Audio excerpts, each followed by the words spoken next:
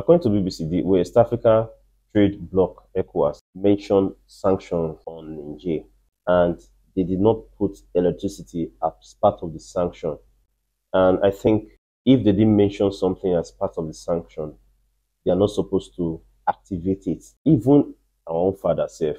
There's some decision our father or our parents will want to make. They will call us to have a formal discussion with us. This is why I want to do what I want to do.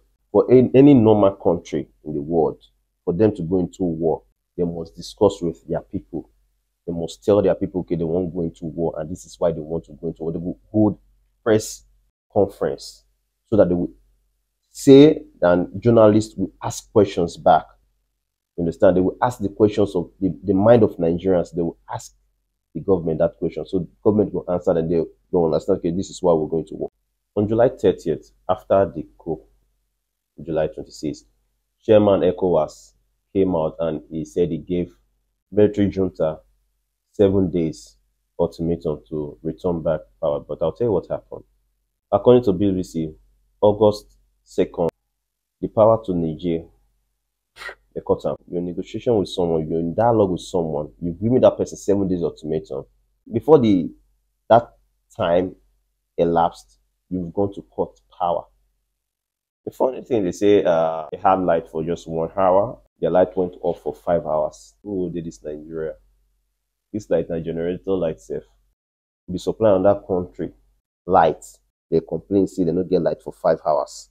As I talk to you, if I see light for five hours, fear will cash me.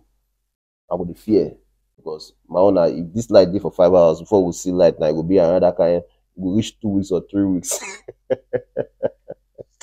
and i'm sure a lot of nigerians they are facing the same thing too. What i talk through now if you see light for five hours straight man you know go fear. I'm not saying that there are not light in some places but i can say more than 70 or even 80 percent of nigerians are suffering what i'm saying now. But that i'm talk topic for another time.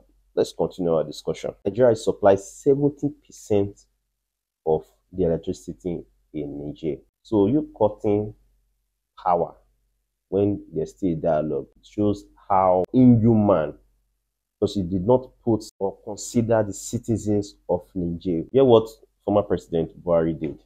In June 2022, after the coup in Burkina Faso and Guinea, he said to ECOWAS that We must, therefore, ensure that, in whatever decision we take, we must remember the mass of the populations in the affected countries who are victims of the unconstitutional changes of government and adverse consequences of isolation brought about.